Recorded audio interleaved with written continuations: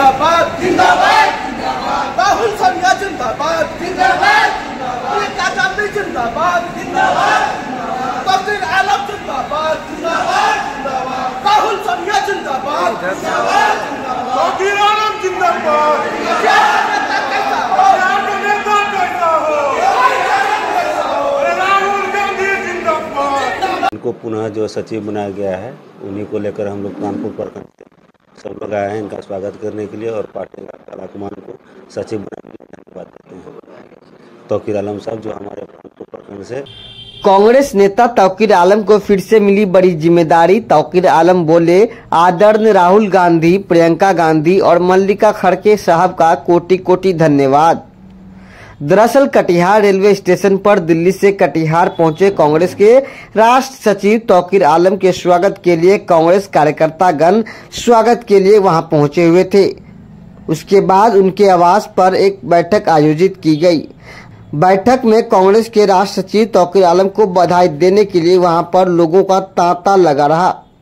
इस दौरान तौकीर आलम ने मीडिया से बात करते हुए कहा कि मैं कभी सीमांचल के युवाओं की आवाज़ को दबने नहीं दूँगा। कांग्रेस नेता तौकीर आलम बोले कि आदरणीय राहुल गांधी, प्रियंका गांधी और मल्लिका खड़के अर्जुन साहब को मैं कोटि कोटि धन्यवाद देता हूँ, क्योंकि उन्होंने दोबारा हम पर भरोसा जताया है। और आगामी दिनों में चुनाव में हम इंडिया गठबंधन मिलकर चुनाव लड़ेंगे और कांग्रेस को मज़बूत करने का काम करेंगे।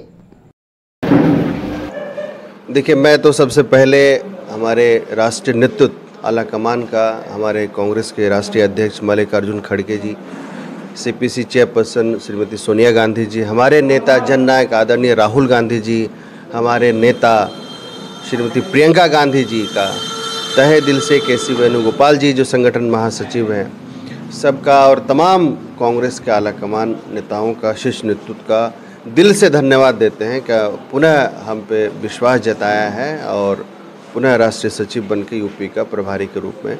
देखिए, ये तो संगठन का पद है और संगठन की ज़िम्मेदारी है। उसको पिछले दो ढाई साल से हम उत्तर प्रदेश में निभाते आए हैं।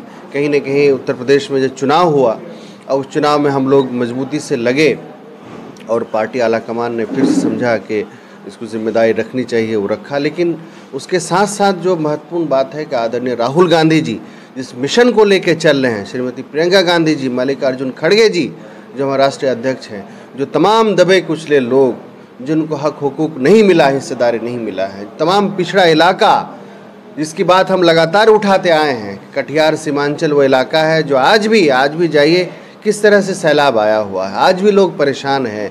इस इलाके में आज भी नौजवानों के लिए रोज़गार के साधन नहीं हैं। हम लगातार इन बातों को उठाते आए हैं। कोई कोई फैक्ट्री नहीं है इस इलाके में। कोई यहाँ पे लोग अच्छी पढ़ाई के लिए संस्था नहीं है यूनिवर्सिटी एम के बन पाए उसके लिए फंड नहीं है, कोई सेंट्रल यूनिवर्सिटी नहीं है।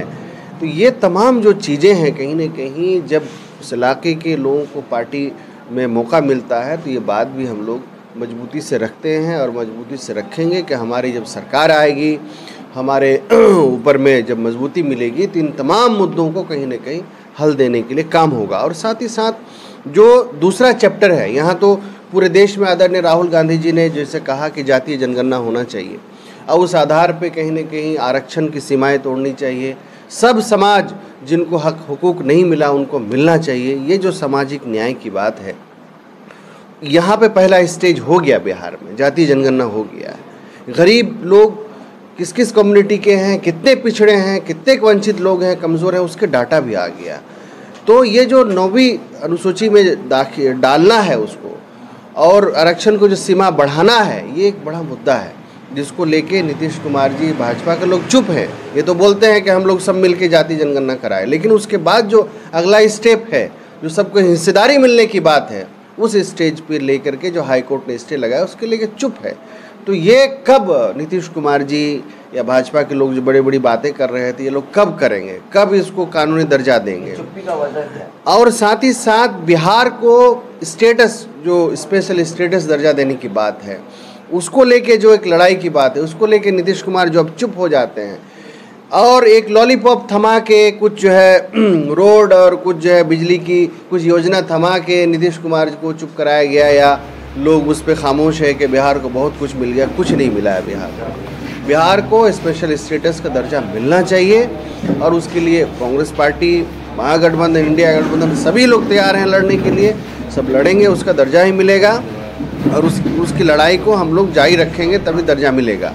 तो ये है कि हम लोग जो ज़िम्मेदारी मिली है, उत्तर तो प्रदेश के ज़ाहिर सी बात इंचार्ज के रूप में वो काम है। साथ ही साथ बिहार सीमांचल, कटिहार, प्राणपुर, जहाँ से मैं चुनाव लड़ता हूँ और तमाम लोग, जो लोग दबे कुचले लोग हैं, जिनको हक हकूक नहीं मिला है, उनकी आवाज़ को मजबूती देने का काम की जाएगी और इलाके में कांग्रेस को मजबूती के लिए, इंडिया ब्लॉक को मजबूती के लिए हम लोग मजबूती से काम करेंगे।